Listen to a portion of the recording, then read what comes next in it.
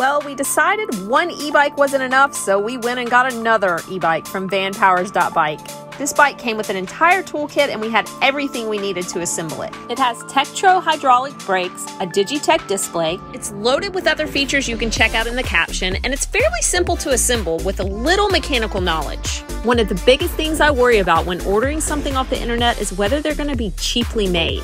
But this bike is solid and an amazing quality. It's a mid drive, it has five pedal assist modes, it has a headlight for safety, a suspension seat for comfort, front fork lockout, front axle quick release, and I've never seen a bike sparkle like this one. The 720 watt battery can go 68 miles on one charge. We were able to attach a child seat to the back cargo rack, which was really important for us. We rode around with our boys over 20 miles this day.